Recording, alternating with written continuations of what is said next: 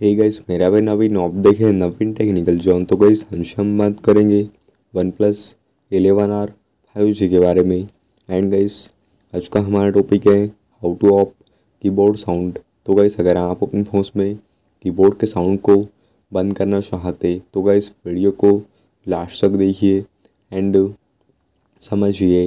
And अभी तक आपने हमारे चैनल को सब्सक्राइब नहीं किया है तो प्लीज़ सब्सक्राइब कर दीजिएगा। तो आप डिफ़ॉल्ट सेटिंग्स में जाइएगा एंड नीचे में आप सिस्टम सेटिंग्स में जाइएगा तो यहाँ पे आपको कीबोर्ड एंड इनपुट मेथड पे क्लिक कर दीजिएगा एंड यहाँ पे आप जी बोर्ड पे क्लिक कर दीजिएगा तो यहाँ पे आपको सेकंड वाला ऑप्शन दिया जाता है प्रेफरेंसेस वाला तो आप क्लिक कर दीजिएगा तो आपको नीचे में साउंड ऑन की प्रेस वाला ऑप्शन दिया जाता है। तो कैसे अगर आपके फ़ोन में यह ऑप्शन ऑन होगा इनेबल होगा तो आप इसे स्टेप से ऑफ़ कर दीजिएगा, बंद कर दीजिएगा तो आपके फ़ोन में कीबोर्ड का साउंड बंद हो जाएगा ऑफ़ हो जाएगा तो इस टाइप से आप कीबोर्ड के साउंड को ऑफ़ कर सकते, बंद कर सकते। तो कैसे बता चुका हमारा टॉपिक उम्मीद है आपको वीडियो पसंद होगी।